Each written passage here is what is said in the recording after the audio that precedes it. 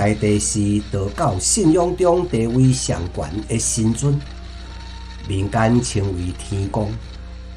在佛教中，玉皇大帝也具有相当崇高的地位，伊是多利天的主宰，掌管三十三天的一切天灵。在佛教中，称伊为地释，就是地释天。玉皇大帝在民间信仰中，其地位是至高无上，并且是无法撼动的。在祭拜任何神明之前，拢必须先祭拜天公，而且有天公炉才会使插三张香。传说玉皇大帝暂下凡到人间，名字叫做张伯友，然后再度升天。做到了位极至尊的天神，统领着仙、凡、明三界。玉皇大帝虽然是天神，但也有一般人的七情六欲。经过岁月的淬炼之后，造就出统御三界的能力，尽力得到众神的拥护以及民间的敬仰与爱戴。众神在民间，故事代代传。欢迎收看《封神榜神之传说》玉皇大帝的故事。顶一集，咱讲到玉皇大帝和天下的百姓读册学写字，不但造福天下的百姓，也使得诈骗的案件对咧减少真济。张百人登基做忠心的天地，会当讲是小心谨慎。脚踏实地、尽心尽力、勤政爱民，是一位明君。不过，人总是有失觉差的时阵。这是伫个玉皇大帝生日迄一天，百姓真欢喜，献上一粒猪头为玉帝来庆祝。二神房为着要处理这粒猪头，差一点啊，就引起火灾。玉帝知影用火安全性非常的重要，一定爱教百姓正确用火的观念。无想到军师传话传唔到，差一点啊，就闹出人命啊！张伯林平常对于饮食并无讲究，食也相当清淡，甚至于偏向素食。伊总认为，身为玉皇大帝，必须亲民爱民，就连涂骹的万物拢是玉帝的子民，因此心生慈悲，毋愿杀害生灵。至于民间为了这事而抬低倒洋，玉皇大帝是无反对，但也无鼓励。在玉帝的观念内，人民为了这事。必须杀害一条性命来供养，这不但无功德，甚至是损德的行为。原本王生者是可以得到升天，就因为家属杀生祭拜，让伊触犯了杀戒，导致于王生者升天不成，却对立地狱受苦。玉帝告诫百姓，生的是无难日。应该爱在戒如数，一来为家己累积功德，二来是为母亲添福寿。但是人的口欲是无法满足，玉皇大帝只能苦口婆心劝说，却并无想用强制手段去要求每一个人拢如数。因此，当每一次老神因邀请食饭。玉帝拢一律谢绝，反倒是玉帝时常设宴请新鲜因食饭，在餐桌上总会有一两道分析作为犒赏，来满足因的口欲。玉皇大帝如所这件事，并毋是每一个凡间百姓拢知影，因此才会用猪头作为贡品来祭天。二仙房收到这样的奖品，拢忘去了，真是可倒每一位义徒。地头上的门非常济，要全部清除清去，相当费时。一开始是用手一支一支的念，但看传线的时刻一分一秒慢慢逼近，实在袂使阁浪费时间。其中一名义徒突发奇想，干脆用火烧，烧过之后，阁用刀啊敲拄地皮上的门。这样一来就省事真济。于是请来火神用火烧，无想到这一烧，猪油就一滴滴流落来。猪油助长了火势，当下就着火起来。义徒因赶紧赶水要救火，火不但无被拍花，煞愈倒愈大。火神在情急之下，褪去身上的衣服，将衣服熨烫。面对火，用力拍打，才将火势控制落来。二厨房被烧到乌麻麻，万一火势控制无好的话，就连凌霄宝殿也会被火烧去。为着要食一顿饭，二厨真费心处理这粒猪头，想袂到造成意外灾情。桥方大帝听到这个消息，非常的生气。但是，伊马上冷静落来。既然代志已经发生啊，二度嘛真自责，就免搁再去责备因啊。军师吴宗颖对玉帝讲：，卖责备二度的人，那安尼就爱处罚百姓，是百姓无应该摕猪头来祭天。玉帝对军师讲：，百姓无知，这毋是百姓的错。是天神的错，因为身为天神有责任教导百姓正确的观念。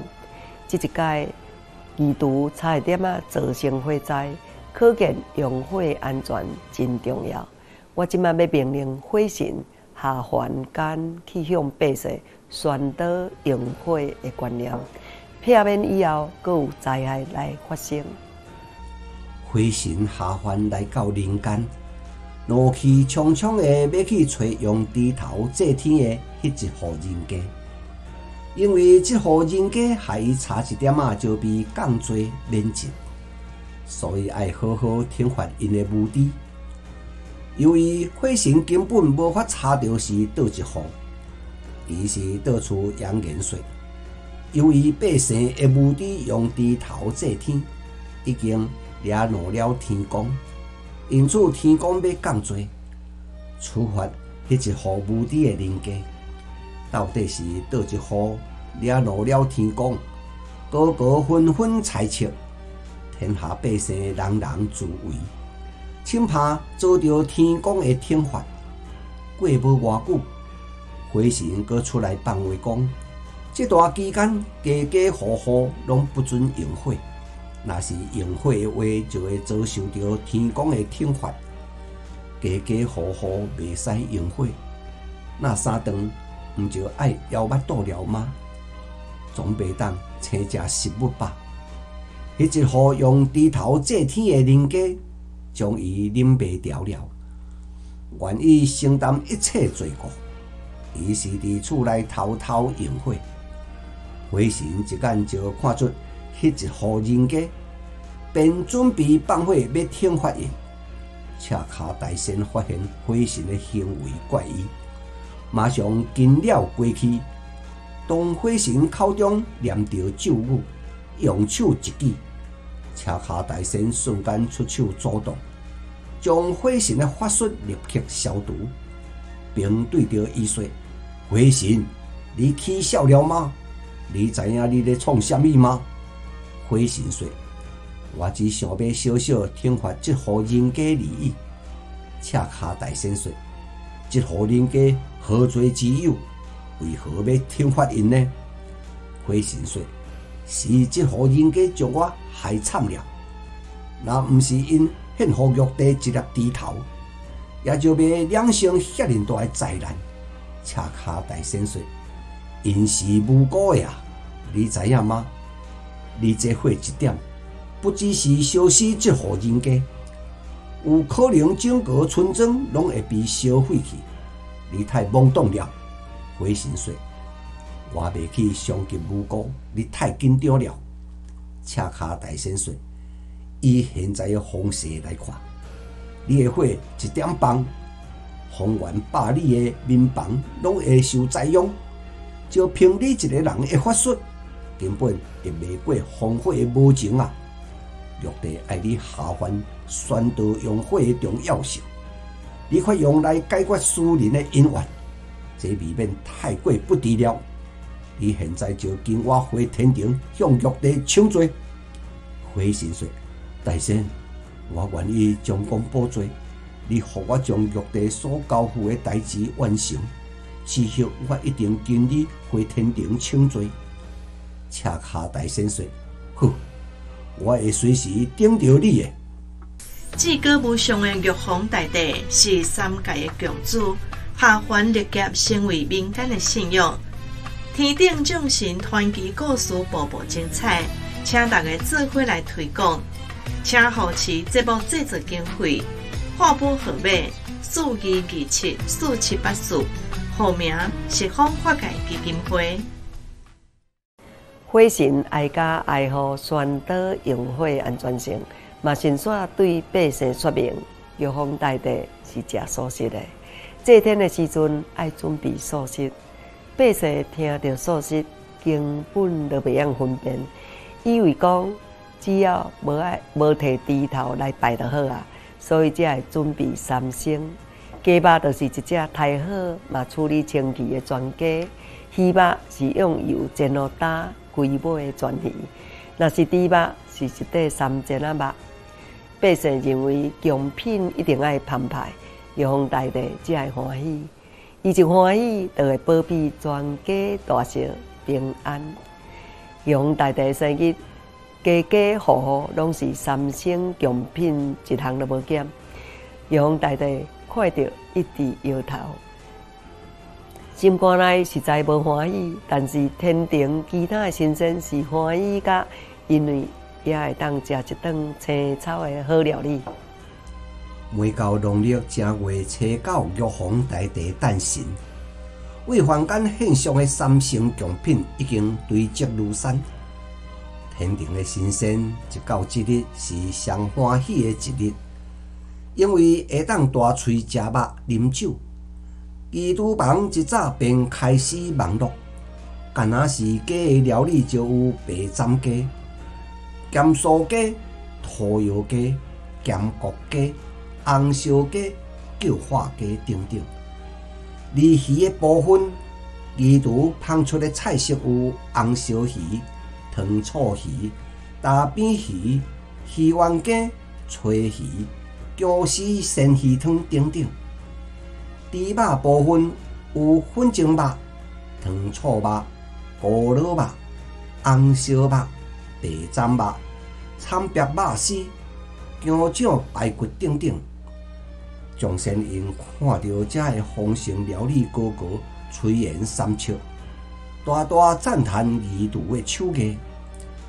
玉帝看到规桌顶的荤菜，根本无想要动地。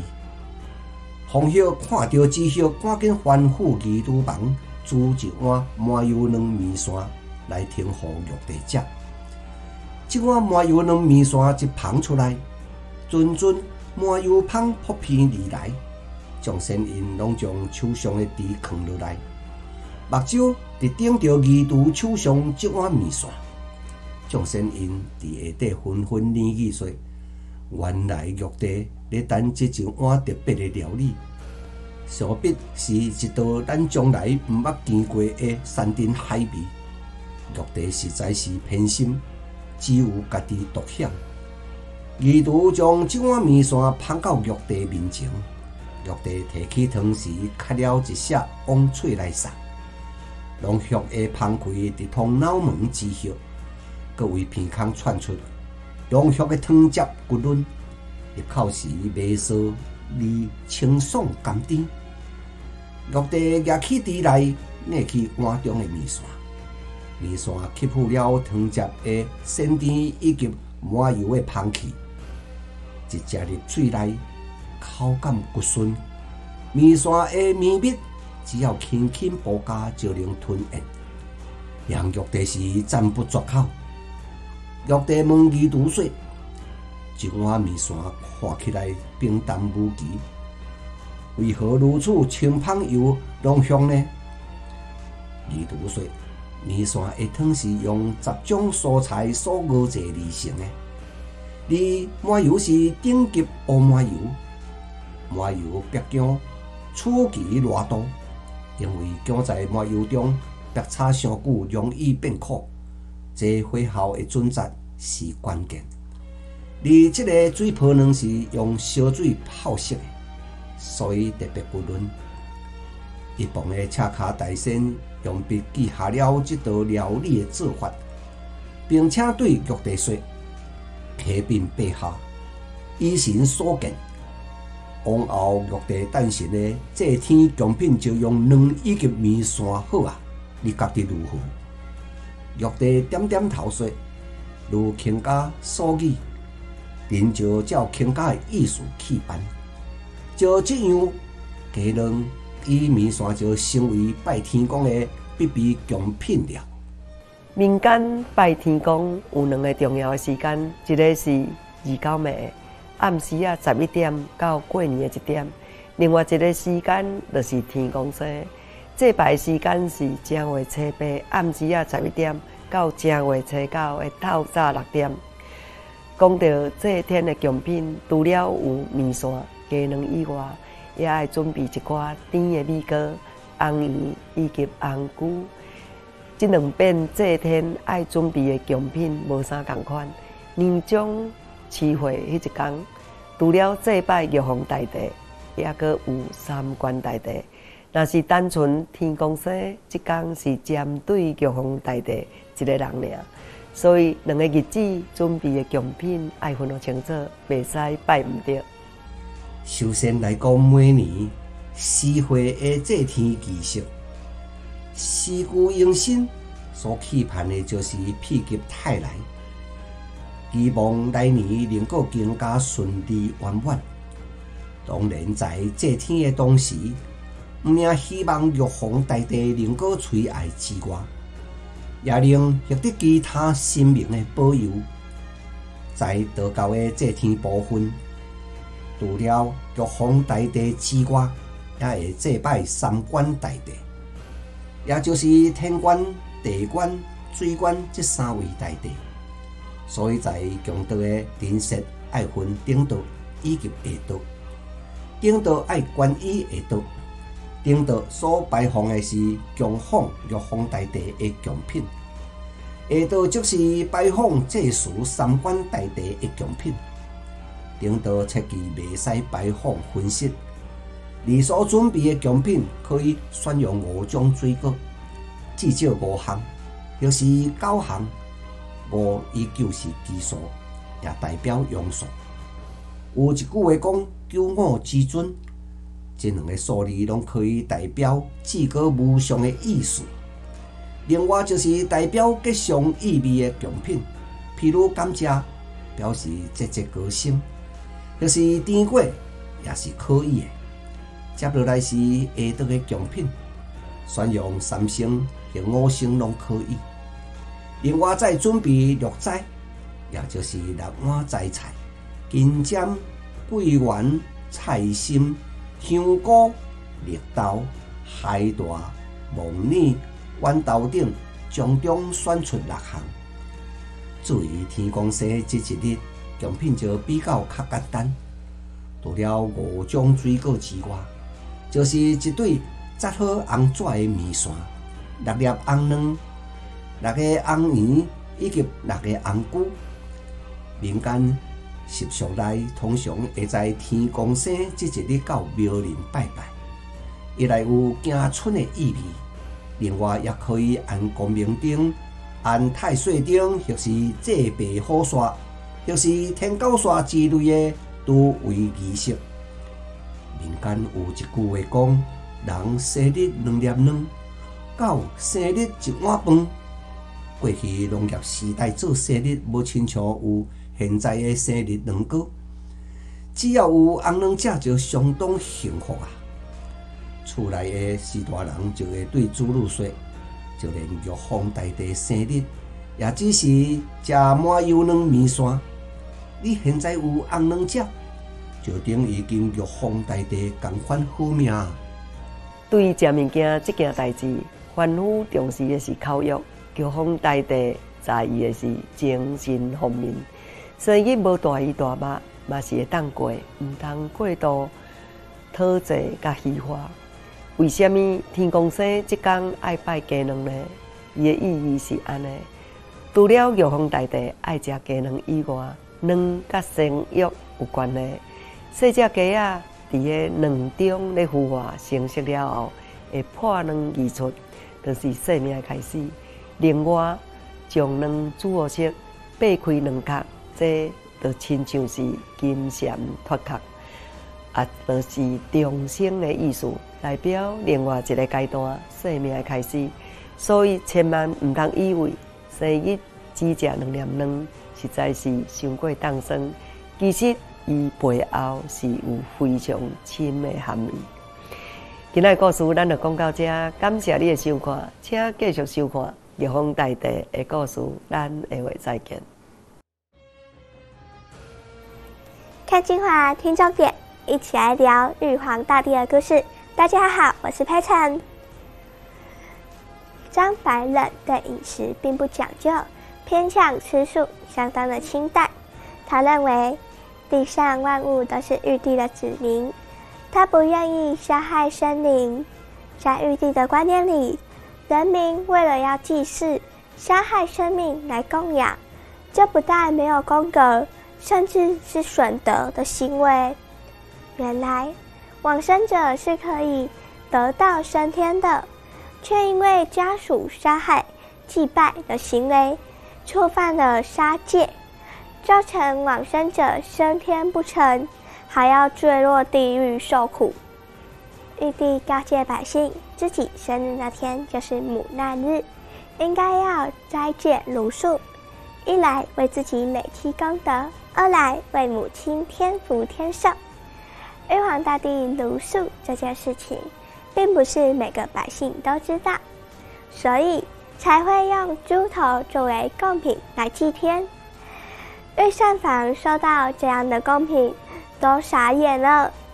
这真是考倒御膳房的厨师啊！一名御厨突发奇想，干脆用火烧掉猪毛，没有想到一下子就烧起来了。每年玉皇大帝诞辰。是天上神仙最高兴的一天，凡间献上的贡品堆积如山，可以大口吃的，大口喝酒。玉帝不喜欢吃这些荤食，皇后赶紧吩咐御厨师煮一碗面线来。面线一端上桌，阵阵的麻油香扑鼻而来，众仙都放下手中的筷子，眼睛盯着面前看，原来。玉帝喜欢吃的是麻油蛋面线啊！后来，麻油蛋面线也成为拜天公的必须贡品。有一句话说：“人生日两颗蛋，狗生日一碗饭。”在过去的农业时代，要庆祝生日不像现在有生日蛋糕这么方便。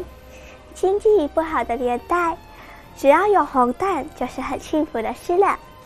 所以。家里的长辈才会对子女说，就连玉皇大帝生日那天，也只有吃麻油蛋面线而已。你有红蛋吃，就等于跟玉皇大帝一样好命了。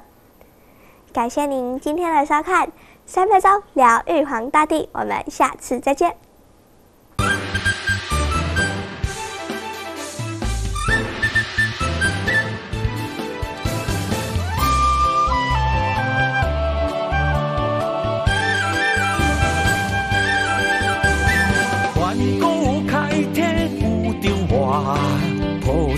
心佛拢显化，玉皇大帝伫天顶，地间除恶好众生，众生显化在民间，故事精彩代代传，好请众生来保庇，同心分享点心位，众生点心位，安民关公。上街讲义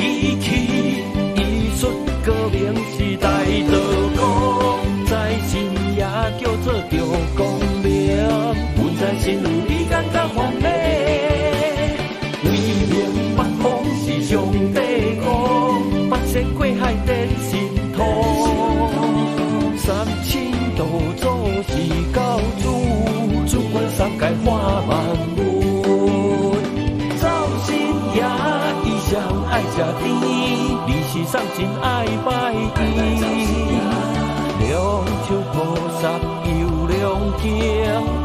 文武相传，大行拢会通。谈山识着真好合，亲像袂惊，搁袂相打。三太子二路车骑黄花轮，伊上开拍，二路骨都大大，欢欢喜喜，啥物拢毋惊。先锋爷上路碟算盘。做做歹伊谁知影？车脚大仙人望线，世间代志搁要震动。土海人相爱拜妈祖，守护伊人平安免烦恼。人做地府阎罗王，若是做歹伊头一个知。人生海海，做人爱实在。放空唔通晓心来做歹，是地球将亲爱保庇，互你无法无